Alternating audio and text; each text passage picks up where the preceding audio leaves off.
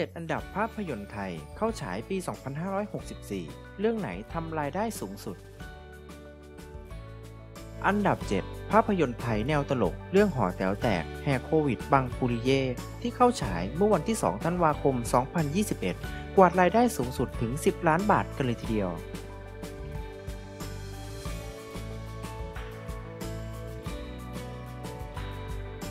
อันดับ 6 ภาพยนตร์ไทยแนวตลกโรแมนติก เรื่องส้มป่าน้อย ที่เข้าฉายเมื่อวันที่ 30 ธันวาคม 2021 กวาดรายได้สูงถึง 11 ล้านบาทกันเลยทีเดียวครับ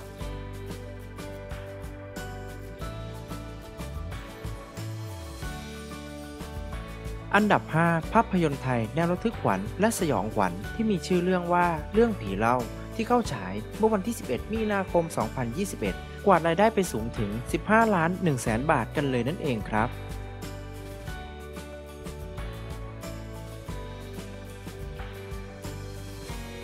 อันดับ 4 ภาพยนตร์ไทยแนวตลกโรแมนติกเรื่องส้มปล่อย ที่เข้าฉายเมื่อวันที่ 4 พฤศจิกายน 2021 สามารถกวาดรายได้ไปสูงถึง 19 ล้าน7แสนบาท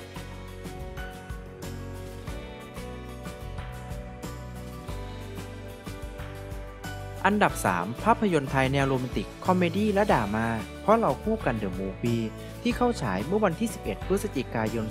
2021 และภาพยนตร์เรื่องนี้นะครับ คุณผู้ชมสามารถกวาดรายได้ไปสูงถึง 2 ล้าน 1 1 0 0 0 0 เหรียญกันเลยทีเดียวครับ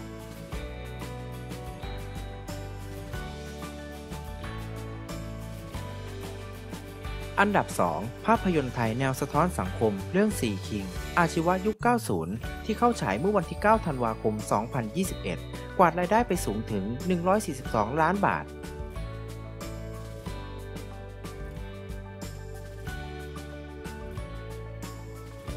ปิดท้ายกันที่อันดับหนึ่งภาพยนตร์แนวระทึกขวัญและสยองขวัญเรื่องร่างทรง ที่เข้าฉายเมื่อวันที่ 28 ตุลาคม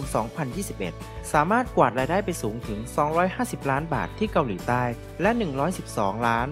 190,000 บาทที่ไทย ไม่พลาดข่าวสารและคลิปถัดไป อย่าลืมกดติดตามแล้วกดกระดิ่งกันด้วยนะครับ